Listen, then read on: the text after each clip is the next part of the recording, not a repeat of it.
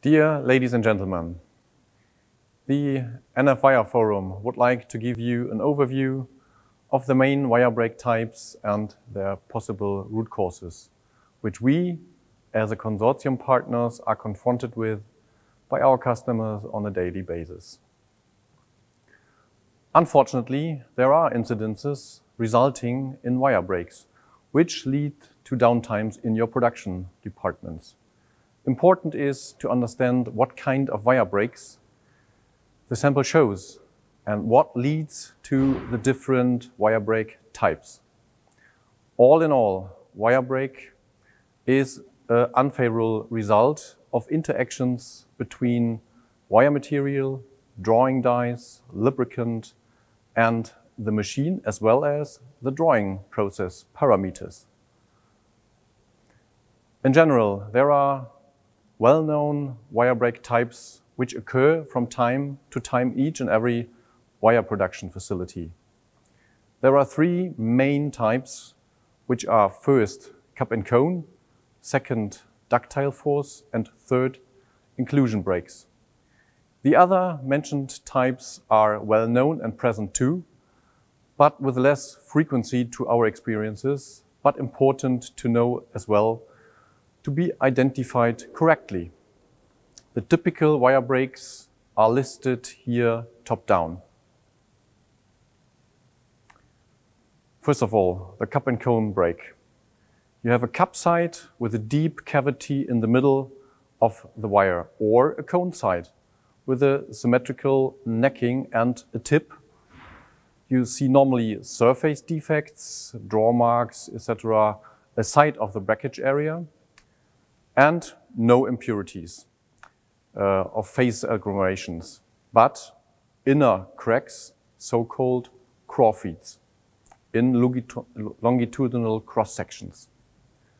So the damage mechanism yeah, is a high shear stress between the wire surface and the neutral line, and that induced um, local material failures where the max material stress level is exceeded.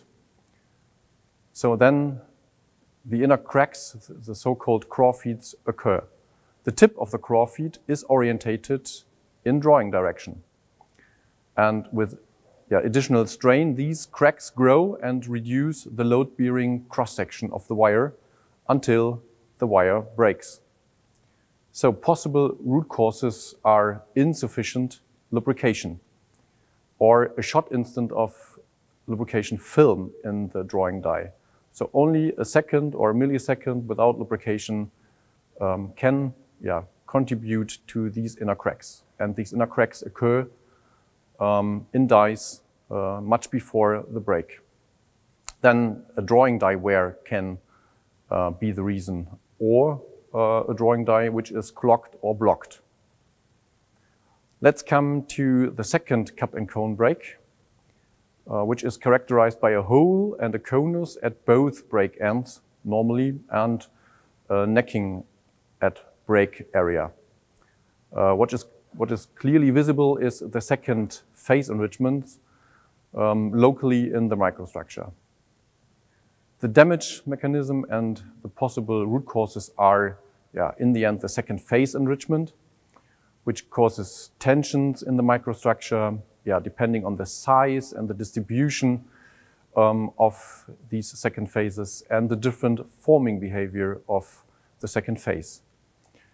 Um, the crack yeah, develops, um, the separation of the material is increasing, and in the end there is a ductile breaking of the remaining cross section. The root cause is definitely the cuprous enrichment of a copper wire rod line. Let's come to the force break or strain-induced break. There is a local symmetrical necking of the material. Um, and there is a ductile break area with funnel or so-called honeycomb structure. And you see normally drawing marks or other surface failures in drawing direction. The damage mechanism and the possible root causes are a geometrical softening, so the necking of the wire, which is bigger than the physical hardening of the metal of the copper wire. There's an uncontrolled local plastic deformation by tensile stress. The root causes can be blocked wires on the capstan or in general unfavorable conditions of wire, dies and yeah, process parameters. Let's come to the very well-known inclusion breaks. Um, typical um, is the V shape of the break area, with or without pressed in or inner particles. Then you see as well surface cracks, small ones, in drawing direction. And if you are lucky, you can find as well smaller particles or rest of particles in these crack lines. The damage mechanism and the possible root causes are in the end, yeah, reduction of the load-bearing cross-section by the particles or inclusions with yeah, wire diameter reduction during the drawing process. We have a notch effect, we have yeah, exceeding of the failure stress. And yeah, these particles or inclusions um, are in contact with a copper wire surface. Um, so the surface can collect these loose particles over the entire process chain, including transport and stocking.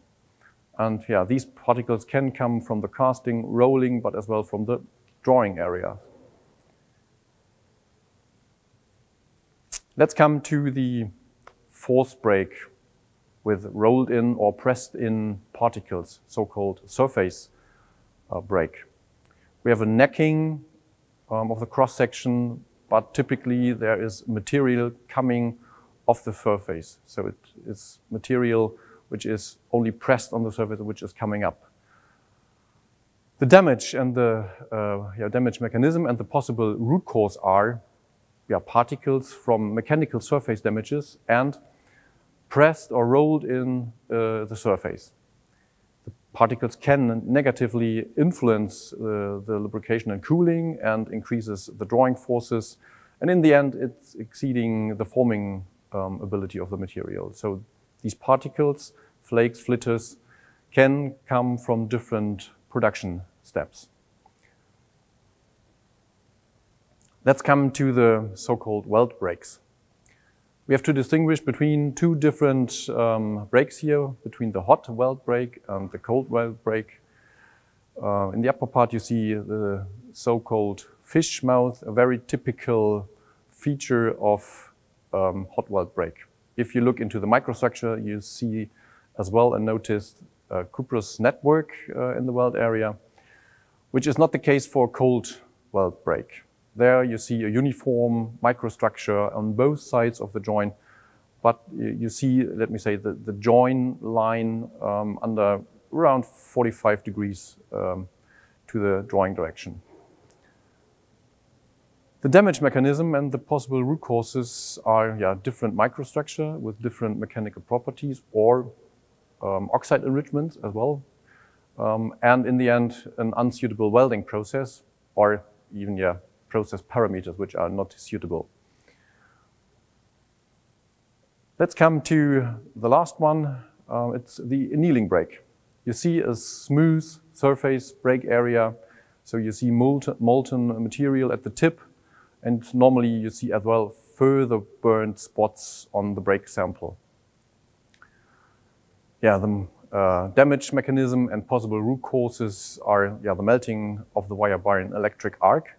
So the material uh, is normally annealed at the end of the production. And the root causes can be badly guided wire on the contact rolls um, or grooves on the contact roll. Let me summarize my presentation. So break type at fine wire drawing um, can be detected with appropriate equipment on a microscopic level um, it is important to determine the root cause and uh, to implement elimination measures. Uh, scanning electron microscopy can help you to investigate further uh, to get additional information, for example, of the inclusion material. A preparation of a cross-section is, yeah, at these diameters, very, very complex um, and normally reveal no further information of the root cause. Um, and yeah, the big portion of fine wire breaks are inclusion, strain induced, and cup and cone breaks. Thank you very much.